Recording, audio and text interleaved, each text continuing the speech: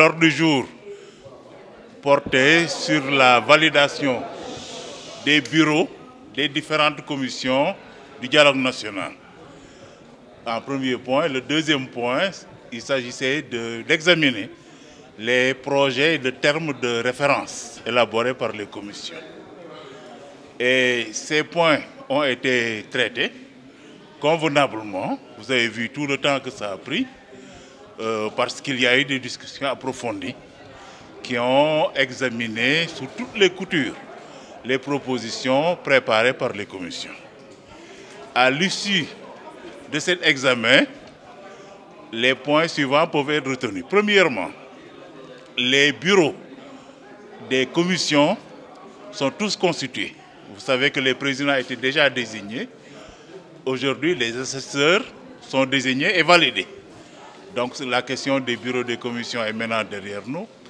Pour ce qui concerne les termes de référence également, les six commissions ont préparé et présenté des projets de termes de référence.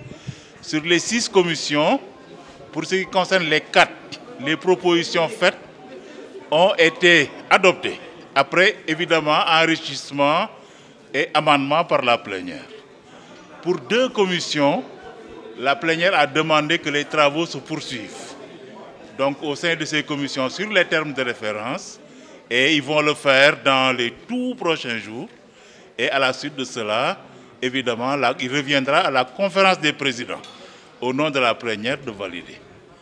Donc, si je résume tout ça, je peux dire que c'est la commission économique et sociale et la commission environnement.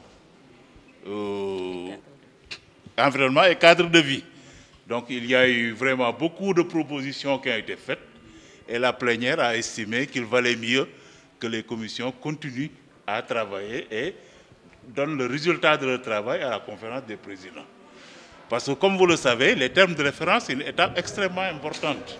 Parce que ça détermine tout le reste. Pourquoi la, la plénière a consacré toute cette attention à cette question.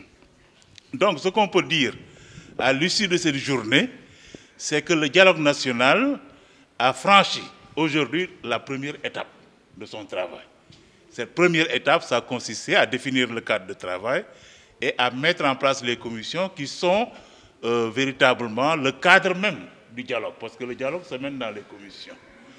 Donc dès demain, nous allons aborder la deuxième étape qui consistera à mener le travail de réflexion dans les commissions.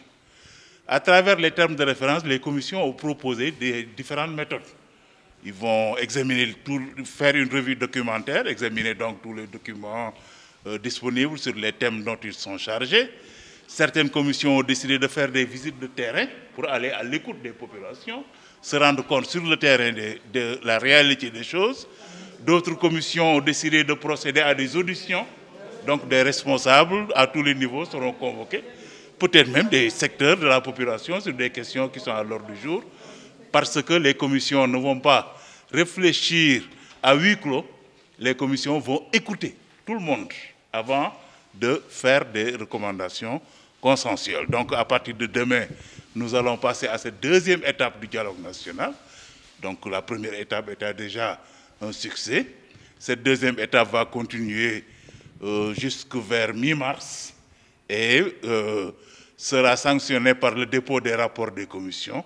Après cela, le comité de pilotage reprendra la main pour élaborer le rapport final.